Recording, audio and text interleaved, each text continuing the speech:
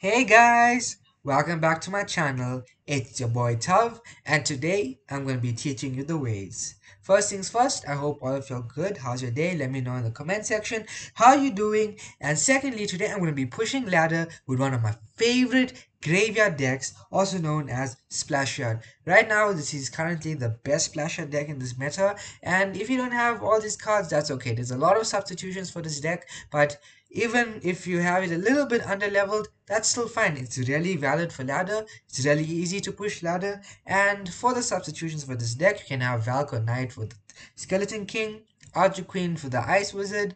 For the Tombstone, we can have Cage or Bomb Tower. Poison, we can put in Fireball. And for the Bar Battle, we can put in Log. With that being said, let's push some ladder. Let's hope we get decent matchups, not like complete hard counters. And we into our first game. This game we're playing against Trojan Man. Okay, okay, bro. Okay. So I'm just gonna play a bar barrel to kill off this ice spirit, and we also get a good counter push. Let's see what he does. So we're playing against Hogged. To be honest, it's not my liked matchups, and I played my Nado late. That was very late. That was really bad. What an amazing start to the video. I hope you guys agree with that. But nevertheless, against Hog Rider, especially against uh 2.6. And here we're playing against Earthquake, which is a little bit harder. But you want to play very patient and you want to wait for the right opportunity to attack. So um, we need to see whether he's playing with Firecracker or whether he's playing with a Valk. But right now we see that he's playing Firecracker. Get a Baby Dragon to... What? This man is playing Hog Lightning. Why? Why is he playing Hog Lightning? Whoa, and that didn't pull. Ah, okay. okay, I think I played that one tile too high. But it's fine. So now that we know he has lightning, we know that we can't stack and it's more of playing at the bridge with the graveyards. And we can't really give him too much lightning value. So we're going to play an Ice Wiz on the right lane. It's really easy for him to cycle back to another lightning. So yeah, and right here we see that he played a Valk into the opposite lane. So we're just going to play Skeleton King Graveyard. And he plays a tombstone uh, i mean a log onto my tombstone giving me more skeletons. So i'm just going to activate the ability and just like this we should take the tower because he doesn't have earthquake neither does he have log. And yeah just look at that guys. Really easy to play. So now we're just waiting to see which side he plays his hog rider. So we're gonna get a nice uh, nado i'm just waiting for the valkyrie to die and now we got a good nado both our towers is basically the same HP and now he has to decide which lane does he want to attack. And now for me, for the next 50 seconds, all I'm doing is defending. All I'm doing is trying to want my Nado back in hand so my defenses become clean and I just have to watch for the firecracker chip. So it's okay playing this high. Literally it's totally okay. Let's see where he plays his firecracker. I'm just gonna poison the fire firecracker because I genuinely don't want to deal with it. So right now I'm just gonna play Ice Wizard we know that he doesn't have lightning in hand. We're just going to play Tombstone. If he goes Hog opposite lane, that's fine. But with this position here, we can also attack the Hog from the opposite lane. And just like that, that's another good defense. And in for 15 seconds with Hog Lightning, I genuinely don't think he's going to get the tower. But right now, we're just going to poison just to slow down the troops if he plays it at the bridge. And we're just going to play a Nado over here and a Tombstone at the back to pull the Hog back. And yeah, GG's to Trojan Man, just like that, proving that Splashyard is one of the best decks in this meta. And I 10 out of 10 recommend you playing this deck and getting better with this deck. It's a very defensive deck and it teaches you a lot of patience in Clash Royale. It's not only spam at the bridge, it teaches it teaches you when to attack at the right moment and also it improves your macro defenses. With Nado and with Ice Wizard, and Baby Dragon combined, you get insane splash damage and it just improves your gameplay overall. So right here we have Bar Battle in hand. So I'm going to cycle Bar Battle at the bridge and let's see what he does. Playing against AIRL Ghost. Hmm. Okay, buddy. So he reacts with a bar battle of his own. That was a very bad bar battle in my opinion. He could have played a higher bar battle where it ends up hitting my bob and it also gets one shot onto the towers. But oh well, I guess he doesn't know it or he played it too late because things like that happen. And right here, I think we're playing a mirror matchup. So right here, we're going to get an Ice Wizard And if we play something else, we're gonna get a good Nado. So right here, I'm just gonna play uh, my Barbar my barbarian barrel to kill off the skeletons. And we got since we got such a good push since we played such great bridge battles we can go in with the graveyard. But obviously in Nightwitch we know that he's playing Golem. Golem is a nice matchup. All you're doing is try to stack two tombstones and you're always going to end up poisoning the Nightwitch. But right now he doesn't have enough elixir to play a golem, so playing a baby dragon is fine. If he played a golem, I would have played tombstone and I would have played poison. But right now, baby dragon is fine, and he played a baby dragon of his own. So guys, if he, if they play a baby dragon in the center, all you want to do is wait for the baby dragon to hit the tower and play a tornado like this. That will get a King Tower activation of the baby dragon and it helps so much especially against splash out matchups and against golem in general. So Right now, I think I would have to poison on defense. I'm really hoping that he plays a Night Witch because our hand is really bad. And which he does play a Night Witch, so it's good for us. But right now, I'm not worried about his troops. I'm more worried about uh, getting the Night Witch. I don't want to give Fireball value, so I'm not going to play my Baby Dragon to the right for the Golem. And right now, we can get a King Tower activation. I think, oh, it didn't pull. Nice beautiful. But anyway we're gonna play a late ice wizard to kill off all the skeletons. And that's a really clean push. Right now i don't know whether if he went with golem i would have went baby dragon graveyard at the bridge and taken his tower. But we can still do it now to get damage. And we do have poison in hand for his night witch. So let's see what he does. He's forced to play a night witch i think. But even so it doesn't it's fine. I'm just going to play skeleton king and my tombstone and we're gonna get a good defense again. Right here, I'm gonna play Ice Wizard against the wall, so I don't give him that lightning value to hit my Tombstone and to hit my um, Ice Wizard. So he Nado'd that. I'm just gonna end up activating my ability, play a Bar Barrel just to make sure 100% that the Night Witch dies, and yeah, just like that, another clean defense of Golem. Golem is a really easy matchup. Right now, I'm just going to play an Ice Wizard at the bridge and uh, a Graveyard. And I'm just going to play a Barbarian Barrel and we're just going to see what it does. So, he played a Lightning, that's fine. But I'm hoping that the tower tracks to the... Okay, it doesn't even have to. GG's, well played to Ghost. The Splashyard against Golem is a really nice matchup. Just make sure you spread your Tombstone, you spread your Baby Dragon and Ice Wizards against the wall. And yeah clean. Also another tip is that when the golem pops against the tombstone and kills off the tombstone you can immediately play a nado to the king tower and the golem will end up going to the king tower. Unfortunately i couldn't get it at that moment because it popped and i played it a little bit too late but that's another way to get king tower against golem. Right now we're playing into the next game we're playing against what is this chinese playing against some. No, we can't be Chinese. Chinese people are banned from our servers, but maybe I don't know. But we're playing against this guy, and with the Ice Golem and Battle Ram, we already know it's gonna be Bridge Spam. Now the question is, does he play his Nado? I mean, not his Nado, his Magic Archer. He doesn't, so that's fine with me. Because a lot of players would do that to end up sniping the tower.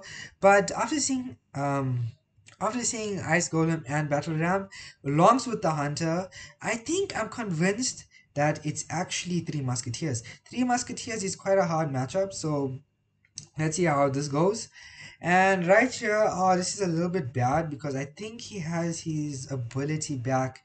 Yeah, it's unfortunate. I'm going to take a lot of damage, but if I played my bar barrel one second later, I would have had a clean defense, but bad timing and it resulted in me taking a lot of damage. So just gonna play Ice Wizard Baby Dragon at the back, waiting to see whether he has pump or not. But if not pump, you're just gonna continuously. Um, oh, I missed the. We we missed the one uh, musketeer, but it's fine. I'm just gonna end up bar battle playing a bar battle onto this. We're gonna play an ice wizard. I'm really hoping it doesn't connect. Please don't connect. How did another mouse go there? Did he not kill off the ma- I'm so confused, guys. Did he play another mask? I'm pretty sure we played a tombstone to kill off that mask, unless we mistimed it, which is also highly possible. But we're gonna play a skeleton king like this. this is going to splash both the, um, the Golden Knight and the Bandit, but unfortunately, the Bandit is completely broken, but I don't mind because both my towers are nearly the same HP. So we're just going to set up defense again, and let's see where he plays these three Musketeers. Okay, so we're just going to poison this. Now, this makes it really harder because now I can't poison his uh, three Musketeers and his pump still gets a positive elixir trade. So I'm just going to play Skeleton King at the back, try and get a good ability onto all of his troops, and let's see what he plays. I'm pretty sure he's going to go opposite lane, pressure. So we're just going to play our ability, and we're going to see what it does, and play a good bar barrel to distract the battle ram, and not the battle ram, the golden knight, and yeah, yeah. This is we may have taken some damage, but it's okay. I'm actually still have to play a skeleton king because that musketeer is really healthy. It's just this matchup is just not looking good. I need to wait for the right moment to pull off the graveyard. And right here, I'm just going to end up playing Bar Battle for the Bandit, and we're going to play an Ice Wizard at the back for that, and we're going to play a Poison onto all of that, even though I don't want to. But we're going to play this and we're going to play a bar battle this time because we learned our mistake unless unless the bandit is broken. But now also we realize he doesn't have any spell for our towers. So at any particular moment we can actually punish him with the graveyard and get a lot of damage and we'll end up winning because he does not have a big spell. So right here, I'm just going to bar battle here. And I'm going to Skeleton King his Battle Ram. And we're going to get a lot of um, defensive damage, which is really good for us. And we just have to again Tombstone, which I don't really want to. I'm just hoping this thing dies. But right here, we're just to play a baby dragon at the bridge with a poison with a um, graveyard and a poison onto the hunter and the musketeer and now we just really hope that it does enough damage and which it nearly does and we might be back into the game and just like this clean solid defense. So right now we're going to do another push because I think he's going to go three musketeers. And which he does and now we're going to pull this musketeer back to buy us more time to defend. And we're going to play this. We're going to play that. And right now we just have to defend. Just 20 seconds of clean defense he's forced to play a high uh, three musketeers. So we're just going to poison. We're just going to baby dragon. We're just going to bar battle I'm just hoping the battle ram connects. Nice. And guys, as I said before, you can beat any deck with the Splashyard deck. Three Musketeers is a really hard matchup to beat Bridge Spam in general because all they do is bait out the poison, stack pumps. If I poison the pump, they're just gonna three Musketeers. They're just gonna continuously spam opposite lanes and just like that we have beat a hard counter. And because this deck is so nice, I'm gonna play one more game to show you guys and to give you guys a lot of tips, a lot of gameplay to show you all my starting hands and stuff like that. And mid ladder, to be honest, it's really easy to get starting handed, whereas higher ladder players are more conservative. They're more passive. They like to see what you're playing. Yeah, mid ladder, nobody cares what you're playing. These guys are straight out just gonna spam at the bridge. So right now we see that he has Goblin Gang. So we're just gonna end up playing a Tombstone at the back. So guys, if you play against Miner or Goblin Gang, you always want to play your Tombstones like that. It also helps out um, defensively because it's really easy for them to outcycle your uh, Barbarian Barrel. So with Valkyrie, it looks like it's classic bridge spam with uh, Rocket. If he had Knight, and after seeing Electro Spirit and Skeletons, we can completely be convinced it is that. So right here, we're just to play a Poison. This, I feel like it's a decent matchup. It's depending how the player plays it, depending how both players plays it. If a Splash guy is passive, waits for the right moment to attack, it's really easy to win. But he has skeletons, so this matchup becomes really easy. Whereas if he had guards, it would have made this matchup a lot harder to win. So if they had guards, the most of the times you want to attack. When his guards are out of hand, more like spam at the bridge. And now that he has skeletons, I'm free to attack whenever I want to attack. But preferably against this, you want to be waiting until double elixir to be attacking. So right here we see that he uses his Valkyrie that lane. So we're just going to go Skeleton King at the bridge. Let's see if he has Inferno Tower. No, he does not even play Inferno Tower. Uh, and of course he goes to the Valkyrie. Of course. Why? Why am I even surprised? So we're gonna try and get a perfect time tornado. Uh, maybe a little second late, but I didn't have enough elixir. But you can get a perfectly timed tornado to fully bring all three goblins to your king tower or to the side. But now, now that we're in two times, we'll see when to attack and how to attack. So right now he cycles his uh, Valkyrie at the back. So I'm just going to play Skeleton King on the opposite lane to build up those skeletons into its armor tree. And we're to actually activate ability now. Oh, I thought he had Inferno Tower. So smart players would end up Inferno Towering high and ends up killing everything. But he has Tesla. So now that I know he has Tesla, it becomes an even more easier matchup. So just like that, didn't have to play Graveyard. Our damage is nearly the same. And this is all that you want to do. Continuous poison cycle. So right here, we're just to play um, uh, Ice Wiz at the back and nearly miss that one goblin. But with the Tombstone, Lifesaver, got a lot of value from it. So yeah, can play another tombstone. Let's see what he does. So we're just gonna Nado all of this to the skeletons. Gonna get in another poison for it. And we're gonna baby dragon this. I'm not gonna activate ability because it's gonna be a waste. He has Valkyrie down. He's gonna end up killing everything, get a positive elixir trade, and yeah. So right now I'm just gonna play Ice Wizard onto the right. Gonna play my battle. And yeah he's just giving me more poison value. And we're gonna end up playing a baby dragon because we know he's gonna play another battle. And oh the it actually got a hit. I'm quite surprised. But right now this is the perfect time to go graveyard because he's low and i would honestly like to see what he does to defend so ah that's a bad battle i still can't read battles apparently and I'm to activate ability. The Valkyrie died. So activating ability at that spot is good because I'm going to end up still getting chip. He's going to start um, rocket cycling soon. So I'm going to try and get early poisons down as quickly as I can. That's a back battle too.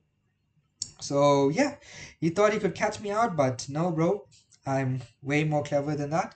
I'm lagging. No, that's not what we like to see. So we're just going to activate ability this time just to kill off this Valkyrie a little bit more quicker, get a nice baby dragon, get a tombstone at the back. With this 400 slash, yeah, 400 lead, we're confident enough to win this game. And this is another side battle. Oh, okay. We're just to go another naked graveyard because he's going to go in with another rocket. And I think rocket does it. I am not sure. Very close. Just like that.